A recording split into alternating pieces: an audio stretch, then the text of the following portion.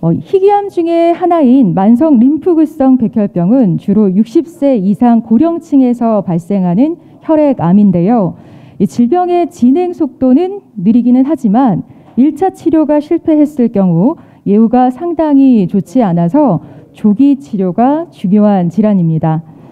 어, 근데 이 만성 림프구성 백혈병으로 진단을 받으면 NGS 테스트라는 최신 맞춤형 치료를 위한 유전자 검사를 보험 적용을 받아서 진행을 할 수가 있는데요. 하지만 그 결과에 맞는 치료 옵션이 정작 급여권에 들어와 있지 않기 때문에 무용지물이 되고 있습니다. 또한 환자도 많고 관심도 많이 받고 있는 고형암에 비해서 희귀 혈액암은 최신 치료제의 급여 등재가 더 어렵다는 점도 환자들의 치료 접근에 큰 걸림돌이 되고 있는데요. 자, 이에 오늘 정책 토론회에서는 희귀암 환자를 위한 최신 치료제의 조기 접근성 개선이라는 주제로 고령의 희귀암 환자들의 생명 연장의 꿈을 위한 치료 환경 개선 방안을 함께 논의해 보고자 합니다. 어, 바쁜 의정 활동 중에 또 귀한 시간 내주셨는데요. 국민의힘 이준석 대표님 참석해 주셨습니다.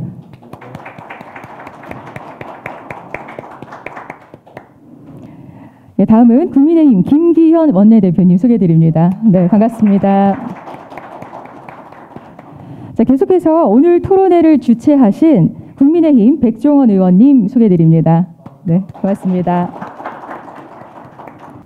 먼저 오늘 토론회를 함께 주관해 주신 쿠키미디어 김지방 대표님 비롯한 쿠키뉴스 관계자 및 행사 관계자 여러분께 깊은 감사의 말씀을 드립니다. 아울러 바쁘신 가운데도 오늘 좌장을 맡아주실 김석진 교수님과 발표회 음기성 교수님 그리고 함께 토론해 주실 보건복지부 오창현 과장님과 심평원 약제기준부 김국희 부장님, 한국환자단체연합회 안기종 대표님 그리고 자리를 빛내주시기에 참석해 주신 국민의 이준석 당대표님, 김기현 원내대표님 비롯한 내기빈 여러분께 감사 인사를 드립니다. 2019년 국가암 등록 통계 자료에 따르면 암 환자의 생존율이 꾸준히 올라 10명 중 7명은 5년 뒤에도 생존하는 것으로 발표됐습니다. 이렇게 암 환자들의 생존율이 높아지는 것에는 국가 주도의 암 환자 치료 환경 개선 노력이 큰 역할을 했다고 볼 수 있습니다. 그러나 이런 치료 환경 개선을 위한 노력에도 불구하고 여전히 치료 사각지대에 놓여 생명연자의 꿈을 이루지 못하는 희귀암 환자들이 곳곳에서 나타나고 있습니다. 특히 희귀암 중 하나인 만성 림프구성 백혈병은 환자 수가 적다는 이유로 치료 환경 개선에 항상 소외되어 온 대표적인 질병입니다. 이 오늘 토론회는 만성 림프구성 백혈병 등과 같은 희귀암 환자들에 대한 조기 치료 해법을 마련하는데 매우 뜻깊은 시간이라고 생각합니다. 모쪼록 오늘 토론을 통해 만성 림프구성 백혈병 등 희귀암 치료 환경 개선에 좋은 의견이 나오길 기대하며 저희 국회 보건복지위 의원으로서 오늘 주신 고견을 모아 향후 의정 활동을 통해 희귀암 치료 환경 개선에 많은 노력을 하겠다는 말씀을 드립니다. 다시 한번 바쁘신 와중에도 토론에 참석해 주신 내기민 여러분께 감사 인사를 드리며 항상 여러분의 가정에 평안과 행복이 가득하시길 기원합니다. 감사합니다. 네, 쿠키미디어 김지왕 대표입니다. 아, 지난 대통령 선거 때 그 탈모 치료제에 건강보험 적용한다는 얘기가 나와가지고 굉장히 화제가 된 적이 있었는데요. 그때 또 당장에 반론이 나온 게 그 돈이면 지금 어, 희귀병, 희귀 난치병 환자들 이 받을 수 있는 비싼 치료제에 적용해가지고 생명을 살릴 수 있다 하는 반론이 바로 나왔습니다.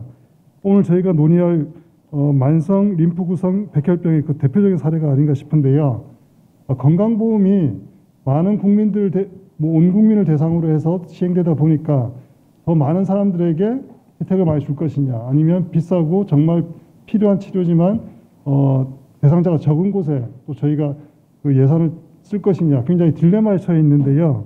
어, 이런 문제들을 해결하기 위해서 또 전문가분들이 고심해 주시고 또 시간 내 주시고 참석해 주셔서 정말 감사드립니다. 아까 제가 저 김석진 교수님, 엄기성 교수님, 또 김국희 부장님 인사드렸는데 바쁘신 중에 시간 내주셔서 감사하다고 하니까 당장 하시는 얘기가 환자들 위해서 이런 시간 내는 거는 괜찮다고 환자들한테 조금이라도 도움이, 되, 도움이 되면 좋겠다고 그렇게 말씀해 주셔가지고 마음이 참 어, 따뜻해졌습니다. 오늘 이렇게 많은 분들 함께 해주셔서 감사드리고요. 특히 또 국민의힘에서 이준석 대표님 또 김기현 원내, 원내대표님 함께 해주셔가지고 어, 더 감사드립니다.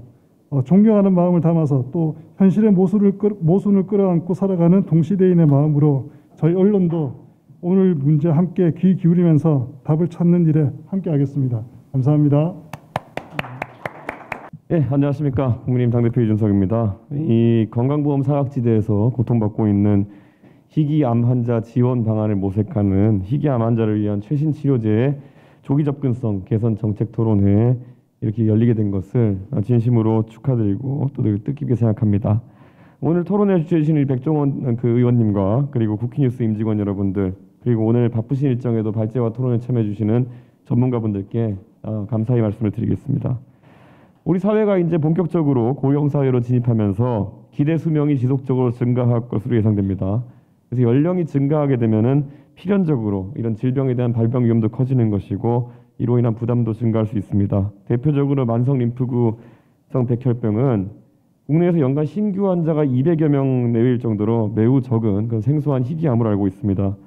그 이미 건강 상태가 좋지 않은 고령 환자에서 재발이 잦고 그래서 65세 이상 동반 질환이 있는 환자들은 상대적으로 질병의 진행이 빨라서 기대 여명이 짧다고 저는 알고 있습니다. 그래서 다행히 이제 활발한 신약 개발이 이루어지고 또 허가가 이루어지게 되면서 이런 한계점을 보완할 수 있는 치료제들이 국내에도 도입되어서 결국 그 환우들과 그리고 가족들에게 희망이 생기고 있는 건 사실이지만은 사실상 부담하기 어려운 약감 때문에 치료를 포기할 수밖에 없는 그런 어려운 상황도 늘고 있다고 들었습니다. 이 환자들의 생명 그리고 가족들의 희망이 걸린 중차대한 사안인 만큼 오늘 토론회가 희귀암 환자와 그 가족들의 어려움을 해소하기 위한 정책 방향성을 논의하는 열린 토론회 장이 되어서 현행 제도를 보완할 수 있는 대안이 나왔으면 하는 생각입니다. 이제 관심이라는 것이 오래 사는 것에서 기대 수명까지 건강하게 사는 것으로 갈수록 확장되고 있습니다. 그러기 위해서 저희 국민의힘은 희귀 암 환자의 가족들과 그 환우들이 투병과 의료비로 이중고를 겪지 않도록 하는 것을 정책의 우선순위에 두려고 합니다. 그래서 그런 환경을 조성할 수 있도록 지원하는 방법을 우리 백종원 의원님께서 오늘 토론을 통해서 고안해서 어, 당에 제안해 주십시오. 다시 한번 오늘 희귀암 환자를 위한 토론회 어, 그 최신 치료제 조기 접근성 문제를 위한 토론에 함께해 주신 분들께 감사드리면서 여러분 모두의 건승을 기원하겠습니다. 그리고 앞으로 당에서도 지속적인 관심을 바탕으로 해가지고 이 문제 지원하도록 하겠습니다. 다시 한번 감사드립니다. 어, 대단히 반갑습니다. 오늘 어, 존경하는 우리 백정원 의원님께서 어, 힘을 보태시고 또 쿠키뉴스 김지방 대표님을 비롯한 우리 언론 관계자 여러분들께서 주관한 자리에서 인사드릴 수 있기 때문에 매우 영광스럽게 생각합니다. 어, 희귀암 환자의 치료를 어떻게 좀 더 빨리 어, 그리고 적절하게 개선할 것이냐, 비용 문제를 어떻게 할 것이냐 하는 것은 어, 지금 당장 이제 우리 눈앞에 다가와 있는 중요한 과제인 것 같습니다. 어, 그런 면에서 또 보건복지위원회 활동도 하고 계시지만 어, 특별한 애착을 가지고 의정 활동에 열심히 하고 계신 우리 백종원 위원장 의- 의원님께서 이 문제에 대해서 이제 어, 중요한 어, 히- 중요한 사안임을 인식하고 손을 대기 시작했기 때문에 성격이 거의 불독 수준입니다. 한번 물면 안 넣습니다. 반드시 관철하고 많은 오랜 의정 활동의 경험을 갖고 계신 분이기 때문에 잘 관찰해 내시리라 믿어 의심치 않습니다. 뭐 희귀암 사실 이제 그동안 우리 희귀암 이렇게 얘기하면 희귀 질환의 경우에 거의 나하고는 관계가 없다 그렇게 인식할 때가 참 많았는데 이제는 그게 아니라 바로 나와 내 주변 내 가족의 문제라고 인식할 만큼 차츰 차츰 우리 주변을 파고들고 있는 것 같습니다. 우리 뭐 주변에 암, 암 환자가 발생하는 것은 많이 우리 이미 일상화되어 있고 그런 경우에서도 국내 희귀암이 전체 암의 16% 된다고 제가 보- 통계를 봐- 봤습니다만 갈수록 이것이 더 증가하고 있다. 그만큼 더 질병도 어리, 우리가 접근하기도 어려워지고 그만큼 치료제 개발도 또 치료제를 구하는 것도 비용도 모든 면에서 환자와 그 가족들에게 엄청나게 큰 고통으로 다가온다 하는 시대에 우리가 살고 있는 것 같습니다. 이런 치료 사각지대에 있는 분들을 향해서 어떻게 진단이 지연되지 않고 빨리 되게 할 것이냐 하는 문제와 또 의료 자원에 대한 접근성을 어떻게 개선할 것이냐 하는 문제, 또 효과적인 치료 방법을 어떻게 개발하고 그것을 잘 국가 정책적으로 지원해서 안전하고 그리고 건강하게 우리 국민들이 살아갈 수 있도록 할 것이냐 하는 것은 이미 우리 모두가 이제 일상생활 속에서 기- 수행해야 될 그런 과제가 되어 있습니다. 다행인 것은 윤석열 당선인께서 지난 1월에 대선 공약으로 아마 이 문제를 어, 발표하신 것으로 알고 있습니다. 중증 질환 희귀암에 대해서 건강보험 적용을 하겠다 약속하신 것으로 알고 있습니다만 정말 아마 이게 가뭄, 가뭄 의 단비처럼 중요한 그런 희소식이 아니었는가 하는 생각을 하게 됩니다.